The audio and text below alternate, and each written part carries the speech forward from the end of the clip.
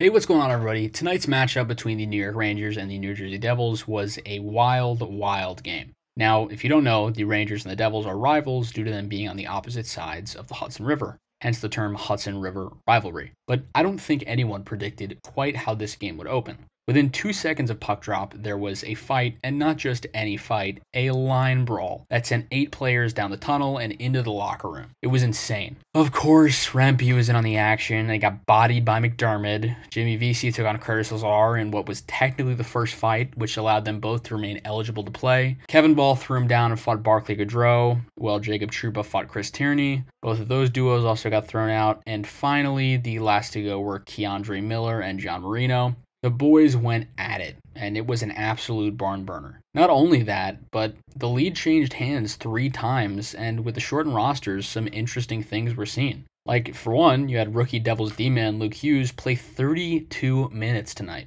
Just insane. Another interesting rookie fact is that Matt Rempe, who has three career games against the Devils, has been ejected from every single one of them.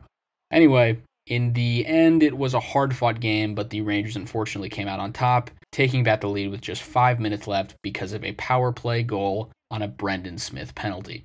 I've pretty much just accepted that the Devils aren't making the playoffs this year, so the rest of these are just for fun, and this one was amazing. Some great hockey is still left to be played, and I'm really looking forward to it. Anyway, that's all I got for you today. Hope you enjoyed the video, and remember to like and subscribe. Peace.